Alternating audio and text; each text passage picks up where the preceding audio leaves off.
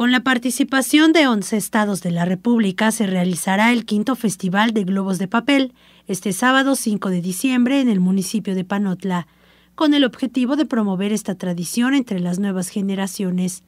El presidente del comité organizador, Nadir Calva, dijo que las actividades iniciarán con el taller para que los visitantes aprendan a elaborar globos de papel y posteriormente se llevará a cabo el concurso de tres categorías.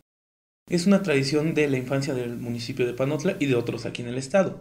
Nosotros este festival lo iniciamos con la intención de rescatar y seguir difundiendo este pequeño arte en los niños, en la juventud. Vamos a tener elevación de globos de papel china en tres categorías, intermedia, básica, intermedia y experto. Estamos hablando que son globos, los más pequeños van a medir 4 metros y los más grandes que tenemos ya confirmados son dos de 25 metros de altura. Se espera la asistencia de participantes del Estado de México, Michoacán, Puebla, Oaxaca, Veracruz, Chiapas, Morelos, Ciudad de México, Tlaxcala, entre otros, en el Centro Deportivo El Ranchito.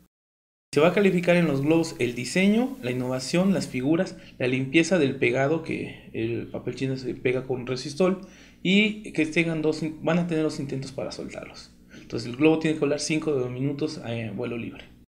El quinto Festival de Globos de Papel iniciará con el taller para la elaboración de globos a las 14 horas. A partir de las 17 horas se realizará el concurso, ya que a las 20 horas hará la elevación masiva de 200 globos de papel.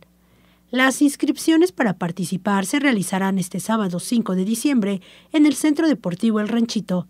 Con información de Diana Rivera, Sistema de Noticias.